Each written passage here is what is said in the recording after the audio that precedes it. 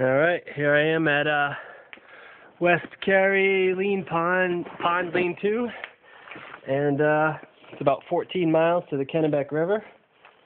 And I got about three hours before the ferry ride across there. If Some guy in a canoe leaves. He's there from 2 to 4. Um, I'm not going to make 14 miles in three hours. So I'm cooking lunch. Unfortunately, this is the water. Don't know if you can tell exactly. Yeah, there you go. Look at that. Nice and yellow. Supposed to be spring water coming out of a box down there, but uh, since uh, Irene, it's got a lot of runoff from rain and stuff uh, built up.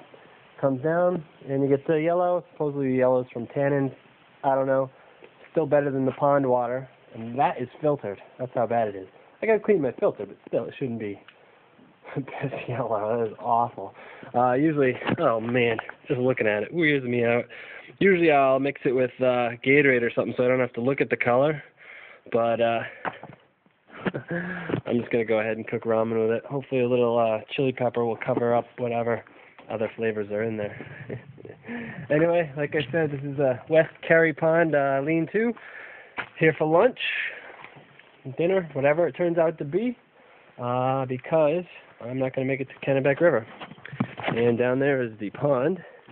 Probably not going to go swimming. Turned out to be a pretty nice day today.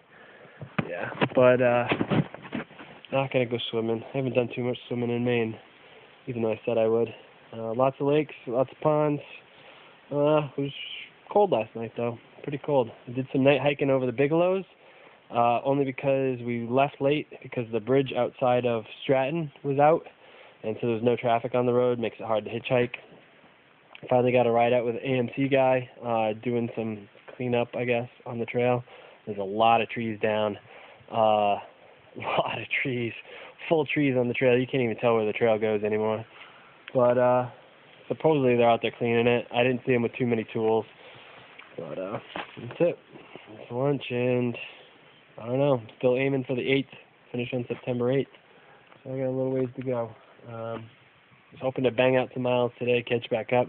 Because Irene, I'm a day behind. What am I going to do? I don't want to ford the Kennebec River, especially after it's swollen with the rains from Irene. So, whatever. I'm babbling now. Gonna eat lunch. See you.